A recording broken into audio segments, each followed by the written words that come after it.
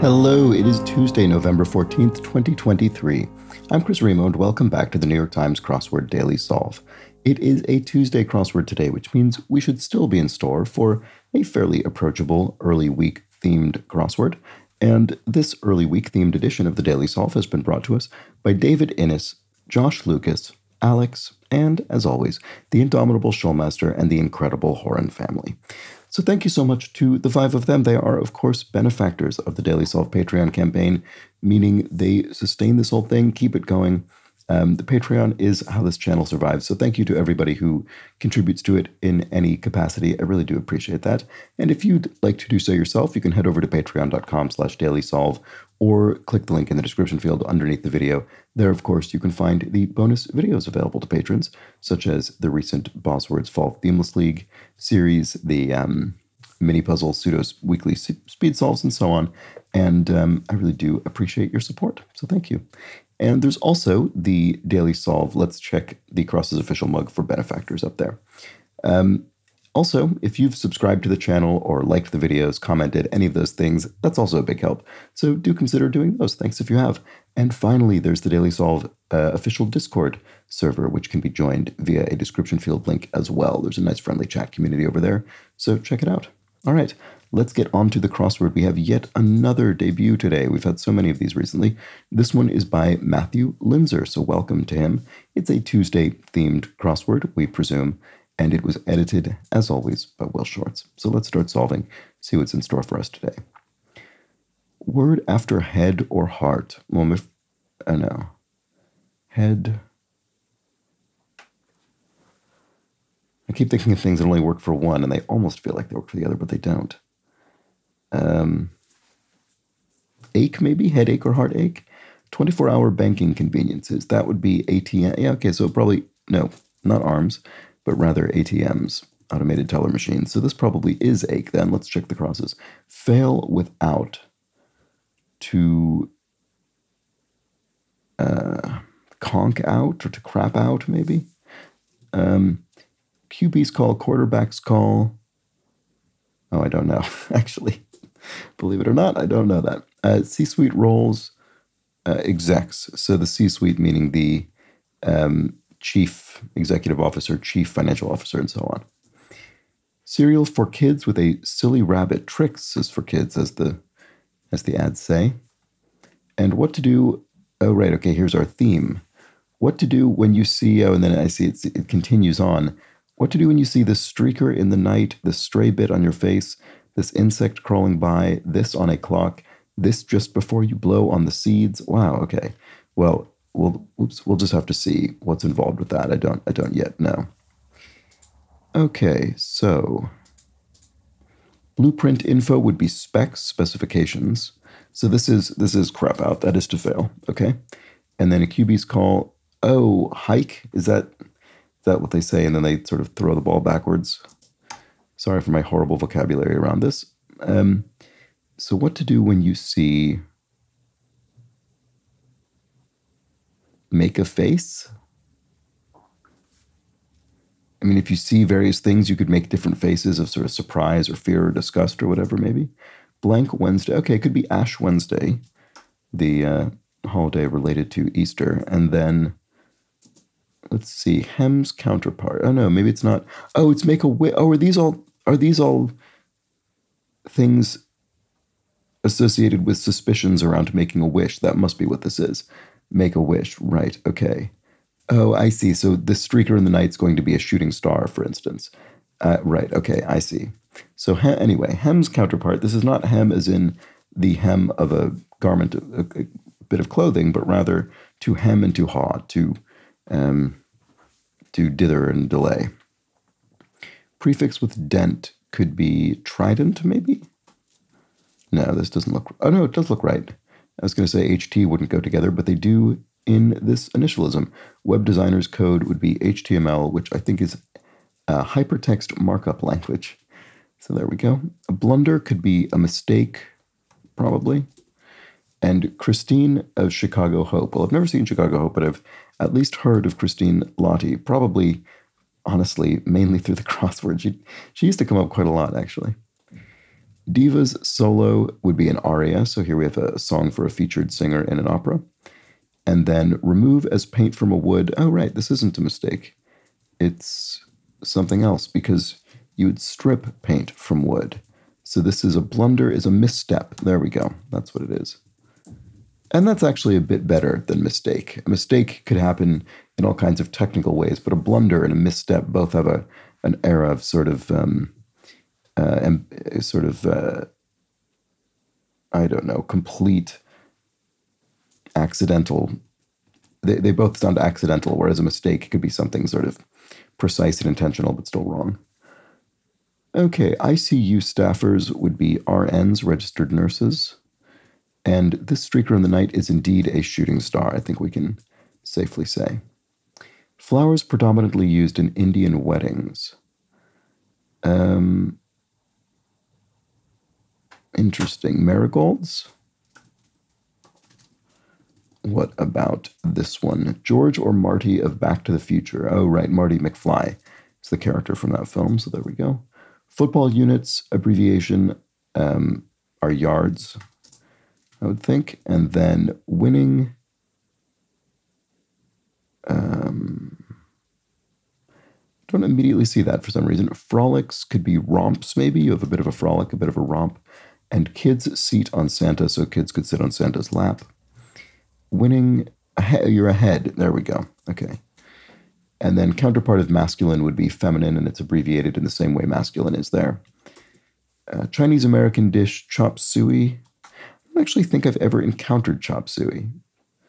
Um, I mean, I've, I've, certainly the name is sort of ubiquitous, but I don't know that I've ever actually ordered or eaten it. Long running hip hop magazine with the. Mm, I don't know the sounds, maybe? I'm not sure.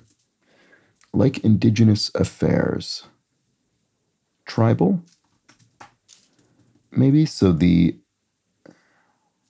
let's well, let's check the crosses on that. German camera brand Leica. Um, that I'm pretty confident about. So to blame someone would be to accuse them. Oh, source, the source. I have heard of this magazine. Yes, okay. There we go. And then blank national airport serving DC. Reagan National Airport is one of the um, one of the Washington DC airports. Okay, man's name hidden in bottleneck. So Len straightforwardly enough, is, is hidden inside the word bottlenecks. It's an easy one. And then mad as a hatter, as they say, which I I actually don't know. Does that come from the character of the Mad Hatter in from from Lewis Carroll, or is the character of the Mad Hatter created because of that pre-existing saying? I don't know the answer to that. It'll be one of the two, but I'm I'm curious as to which. Okay, Anyway, you make a wish if you see a ladybug crawling by. So there we go. We have another superstition. And lingerie material, lingerie, uh, lingerie material could be lace. You could have lacy lingerie. Lingerie. Why? What am I doing with that word that, that I'm suddenly having mixing up all the um, syllables? I don't know. Anyway, uh, here we have Tel Aviv, the city, and Dallas Five to fans would be Mavs, the Mavericks, the uh, basketball team. And then here in Le Havre would be uh, ICI. So Le Havre, the, the um, I thought that was the Hague. Is it not? Am I completely wrong about that? I probably am. Anyway, ICI is French for here. So there we have it. Uh, car expense that's often reimbursable. Um, mileage. Um, uh, I guess in a in a work in a sort of work context, if you are traveling for work, you get your mileage reimbursed, I suppose. And then Vietnam's Nguyen Van Thieu after 1975. Um, in exile or exile exile an ex oh okay right so was an exile because he was in exile i suppose is, is what that means so i was thinking sort of exiled but no singer songwriter DiFranco Ani DiFranco i certainly know uh, this on a clock Oh, right. Okay. Something 11. Do I actually know this superstition? Is it 1111? Is that a. I, I'm guessing that's what this is. I don't think I knew that was a superstition, but but there you go. I guess you make a wish at 1111. All right. Native of Nevada's largest city, a Las, Las Vegas, I guess. Surely that is Las, uh, Nevada's largest city. This stray bit on your face. Right. Do I know what that is? I don't think I do. Maybe I do. I don't know. We'll have to we'll have to see if I recognize it when it comes in. If one has title to something, one owns it. And then I like that a lot. Ooh. what about this? Deep okay, well it is an O because deep grief is woe, sorrow. And then I like that a lot. Maybe it is just four O's. That would be funny. Rows number 13 to 16 in a theater. Um, I haven't a clue what that's getting at.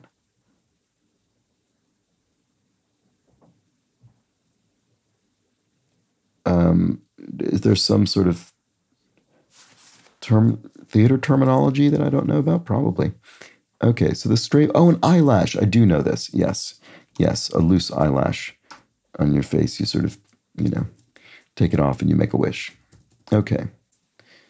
I don't know what the source of that superstition is. Little laugh. Teehee, I suppose. Howdy, folks. Hi, hi, y'all. Okay, there we go. And as is so often the case, the tone of this clue matches the tone of the answer. So howdy, folks. Hi, y'all. They have the same kind of, same kind of tone. Garment for a tiny tot, a onesie. Yeah, there we go. That would be it. And here we have nevertheless, though. So once again, we're matching because these are both contracted versions of the full phrase, nevertheless contracted to nevertheless, and uh, T H O U G H contracted to T H O. Okay, dives into has at you. If you have at something, you sort of dig into it, you embark upon it. Things uh, that might have kids going off on a tangent. Math exams, I guess, right? Because a tangent is a, a geometrical concept. And then, oh, MNOP. okay, right, I see. So if the rows, right, the rows are, are labeled A, B, C, D, E rather than 1, 2, 3, 4 because the seats are labeled with the numbers. So these are the 13th, 14th, 15th, and 16th rows. I see. Okay, it was simpler than I was making it. And then I like that a lot is indeed simply ooh. Okay, a respected sort could be an elder.